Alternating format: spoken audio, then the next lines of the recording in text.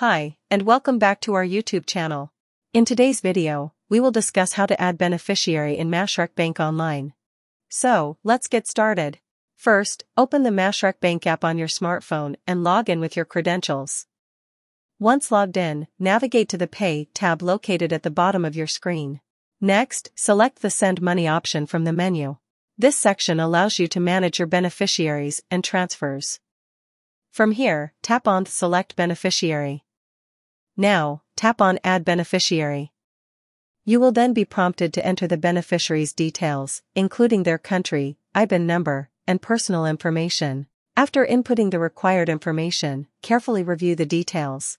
Once verified, select Proceed to Authentication. You will receive a one-time password, OTP, on your registered mobile number. Enter the OTP in the designated field to complete the process. And there you have it. If you found this video helpful, don't forget to like and subscribe for more tutorials. Thanks for watching.